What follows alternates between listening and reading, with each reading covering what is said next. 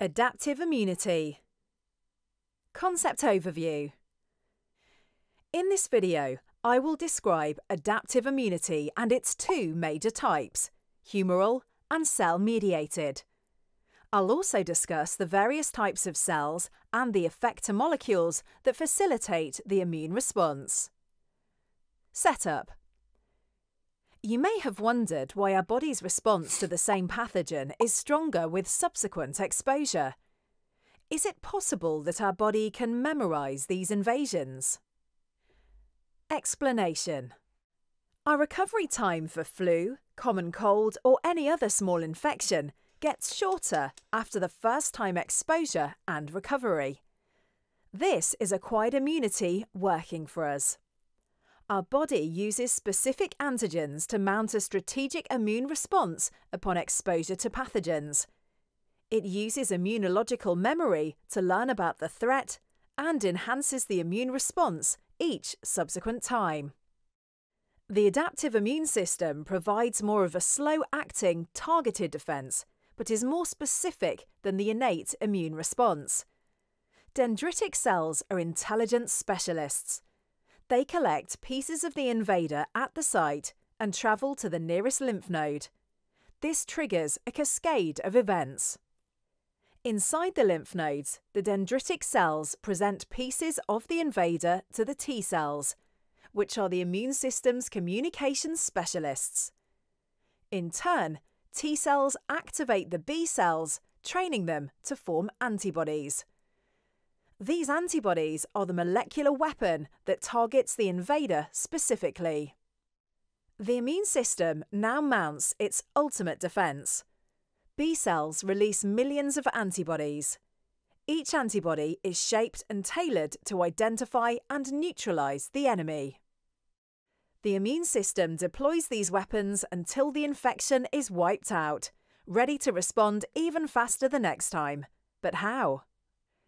There are two types of adaptive responses humoral, carried out by antibodies, cell mediated, carried out by B cells and T cells. After primary exposure, the primary immune response has some value. However, this response is amplified after the second exposure. This is because of the memory B cells, which now synthesize antibodies that are specific to the pathogen encountered before. Common mistakes. One major difference between adaptive and innate immunity is based on immunological memory.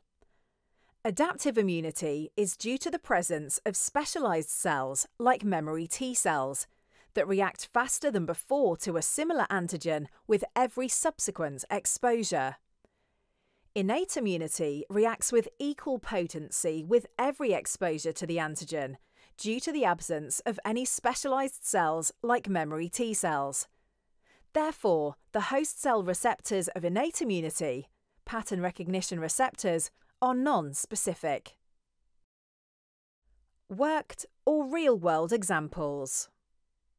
The adaptive immune system creates a memory specific to an antigen. This is the reason why a chickenpox infected person developed immunity before the subsequent exposure to the same antigen. This concept is practically used in the vaccination system as well. Vaccines are antigen containing derivatives of the virus, whereby we expose our immune system to such non virulent antigens to create a memory in our adaptive immune system and make our body prepared for the real time exposure of the same pathogen. To summarise 1. Acquired immunity develops when a person is exposed to a pathogen. 2. We also receive acquired immunity from other sources in the form of antibodies. 3.